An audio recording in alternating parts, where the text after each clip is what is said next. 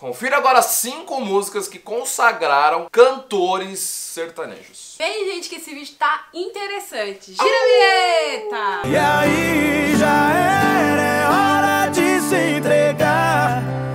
Outra Maneta, bom, eu sou o Mineiro Bento. E eu sou a Juliana. Você está aqui no canal TV, meu sertanejo, canal mais sertanejo do Brasil. Bom, galera, já vai deixando o dedo no like aí, ó. Vídeo muito interessante. É, curiosidade aqui do sertanejo. E também um entretenimento, um vídeo muito massa pra você, você comer com pipoca, tomar um refri. Ou uma mais. breja. Verdade. faz, né? Boa.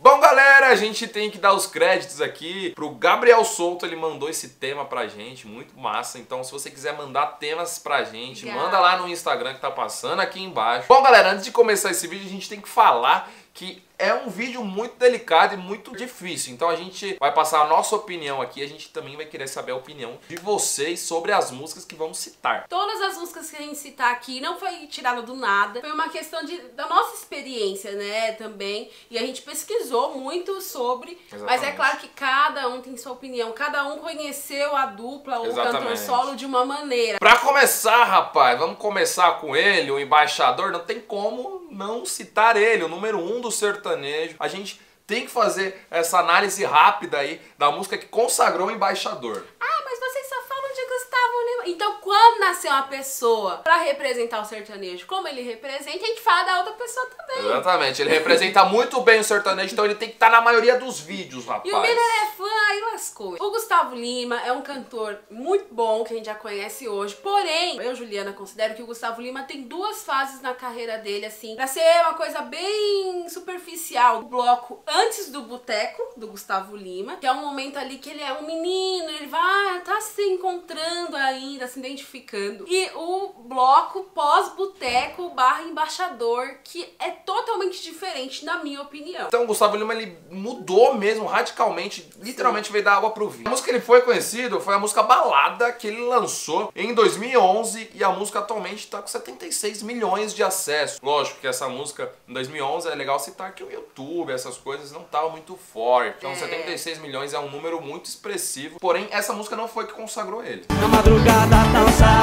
pular. Que hoje vai rolar o Porém, a música, na nossa opinião, que consagrou o Gustavo Lima, falou: não, esse aqui, ó, mudou o patamar da carreira do Gustavo Lima. É a música apelido carinhoso. Me passa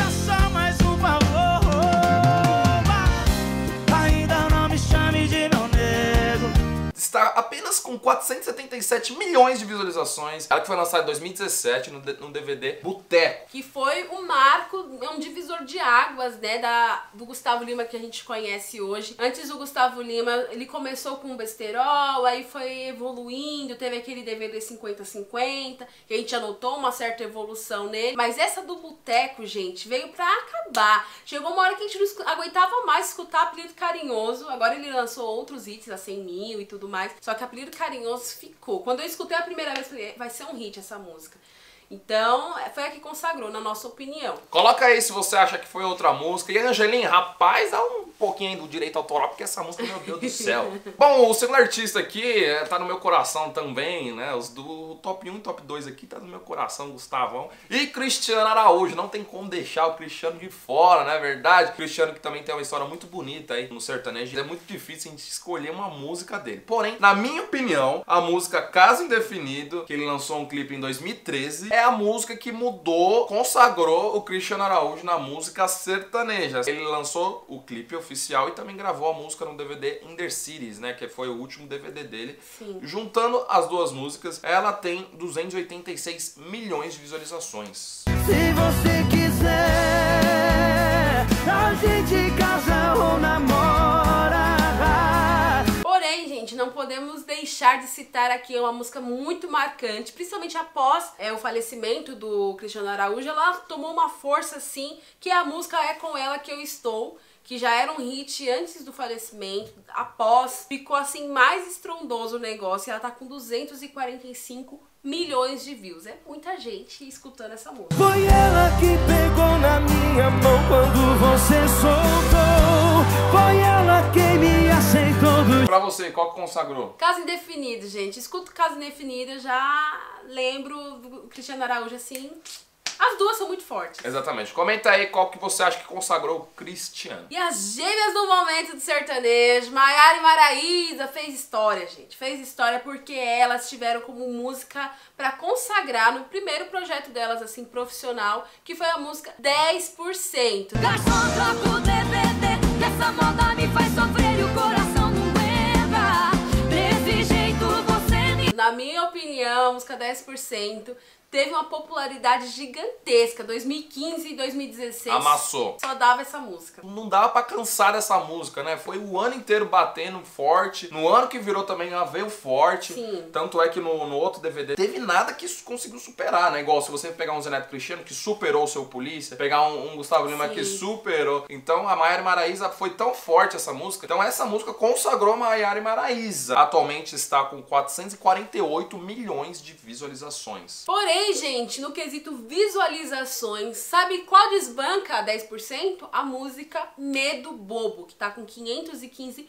milhões de views no canal das meninas. É, e na hora que eu te beijei Foi melhor do que eu imaginei Se eu soubesse tinha feito Medo Bobo também tomou uma, uma proporção gigantesca, porque é uma pegada diferente do sertanejo que estava rolando naquela, naquela época, né? Uns dois, três anos atrás. Então, Medo Bobo e 10%, ambas no mesmo DVD, no mesmo projeto. Maiara e Maraísa é legal citar, que até então tem lançado músicas bem assim, coerentes com a qualidade delas, porém nenhum hit assim astronômico como os 10%. Exatamente. Eu vejo elas como uma linha Linear. É, uma linear e tal, nem muito alto, nem muito baixo, não decaiu, mas também não subiu muito. Então a Maiara e Maraísa foi aí as duas músicas mais fortes dela. Podemos dizer que Mário Maraísa está devendo?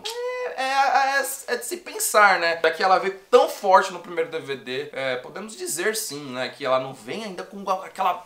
Bum! Porque eu bomba. acho, eu acho que até agora, no terceiro DVD delas, a gente já tá com a expectativa alta ainda, esperando É, um verdade. boom. E no quarto DVD que elas forem gravar, eu também vou estar esperando. Aqui é uma treta, né, rapaz? A quarta é, dupla, a dupla número um, na minha opinião, do sertanejo, da história da música sertaneja, é Jorge Mateus, rapaz. E é muito difícil você selecionar uma música que consagrou o Jorge Mateus. Por eles serem o número um da história da música sertaneja, eles são dignos, porque eles não têm uma música, eles têm um DVD, rapaz. O DVD que eles lançaram ao vivo em Goiânia foi que consagrou a dupla. Não tem uma música maior que a outra. A gente pode citar algumas músicas aqui, como Aí Já Era, Pode Chorar, Seu Astral, Amo Noite e Dia. Todas essas músicas saíram neste DVD que foi bomba, né? Não Sim. tem uma música que marcou o Jorge Mateus. Sim, eu acho que o que consagrou o Jorge Mateus foi a sequência de trabalhos bem sucedidos, né? Eu acho que até agora o trabalho mais assim que tomou meu coração foi o trabalho de Jurerê, em Sim. Jurerê, né? O DVD. Mas ali eles já estavam consagrados, Sim, né?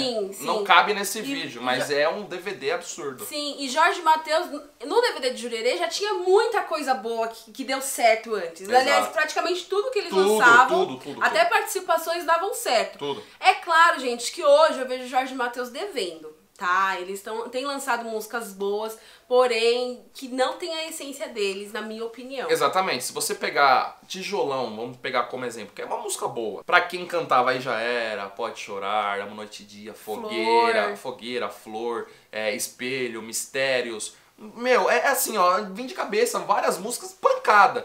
Então é, é meio complicado a gente ver Jorge Mateus. A tanto É. a gente vê os números, né? Não, não é um não batem mais tanto. né? Eu acho que é um momento de transição pra eles, né? De encarar o mercado como tá hoje, mas sem perder a essência é muito difícil. Comenta aí, rapaz, qual a música? É muito difícil isso. Pra você, qual que é a música que consagrou Jorge Mateus? Eu e o Miller, cada um recebeu Jorge Mateus de um jeito. Eu recebi com Aí Já Era. E aí já era,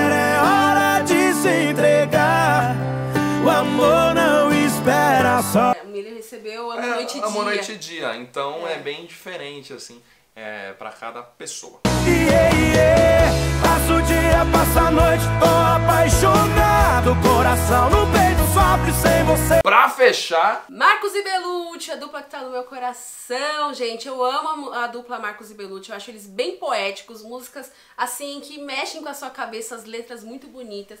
Tenho admiração, já vi o show ao vivo, foi um dos melhores. E eu acho que a música que consagrou Marcos e Belucci como uma dupla sem participação, sem nada, foi domingo de manhã. Exatamente. Que a gente já tá cansado de escutar, não aguenta nem mais ouvir um pedacinho. Prefiro estar aqui te perturbando domingo de manhã. Música de 2014, essa música tá com 156 milhões de acessos. Porém, no ano é, que passou, né, no ano de 2015, eles lançaram aquele 1% que ele está com 252 milhões de acessos. Eita. Porém, a gente pode dizer que essa música consagrou o Wesley Safadão. Também consagrou o Marcos Bellucci, mas quem vê essa música pensa que a música é do Safadão. É muito difícil isso, a gente não vai considerar aquele 1%, porque foi uma música que eles dividiram meio que o sucesso com Wesley Safadão. Muitas pessoas achavam que a música era do Wesley Safadão, com participação de uma dupla aí, ou da dupla Marcos e Belucci. Exatamente. Que às vezes a pessoa não conhece, né, Marcos e Belucci. Mas domingo de manhã foi sozinho. Sim, e eles é. acertaram na essência deles, que é o romântico, né, poético. Então foi sucesso. Pra Com- mim, comenta aí, é muito legal a gente pegar essas comparações. Comenta aí, a gente quer saber a opinião de vocês. Lembrando que esse vídeo vai ter uma parte 2, porque tem muita gente aí já consagrada. Então, deixa seu like se você quiser a parte 2 desse vídeo, beleza? Exatamente. Tchau, obrigado. Aperta no botãozinho vermelho. E, E fui! Ó, tamo igual o Itaú, velho. Tchau. Aperta no botão. É, Itaú, ó, você tá nos devendo, hein? Não é a gente que tá devendo vocês.